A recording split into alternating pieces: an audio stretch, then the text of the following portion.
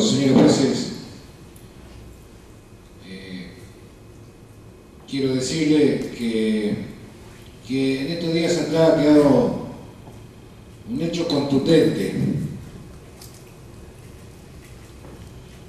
y quedó bien demostrado quiénes son las personas que piden por mi libertad y quienes piden por mi condena.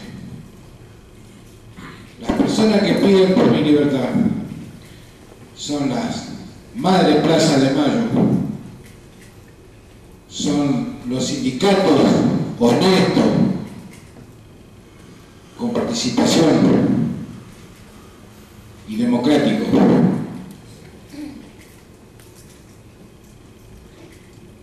La que piden por mi condena son aquellas personas como, como Gerardo Martínez, donde fue agente secreta de la dictadura.